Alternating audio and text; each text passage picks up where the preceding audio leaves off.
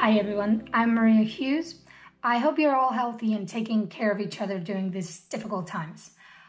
This is Harry Stays at Home by NGK and Silver Faye. On the crest of the wave and the wisp of the wind, Harry the Happy Mouse was thinking curious things. Harry went walking one bright sunny day, looking for someone to help on the way.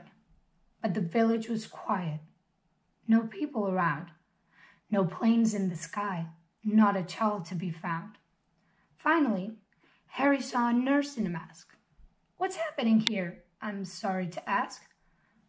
Some people are poorly, and if we go out, we'll pass on the germs and spread them about.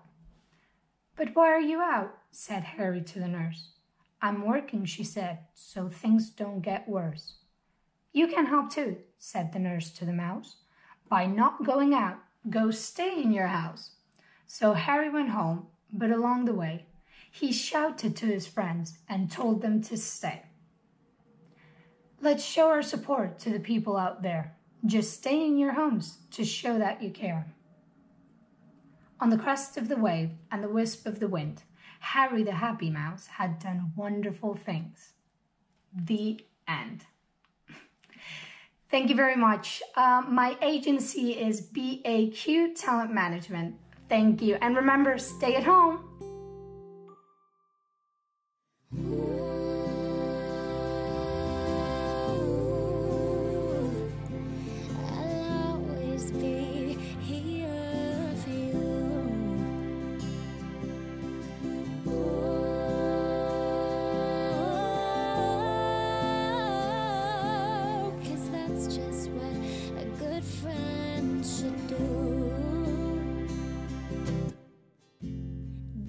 You know when life gets old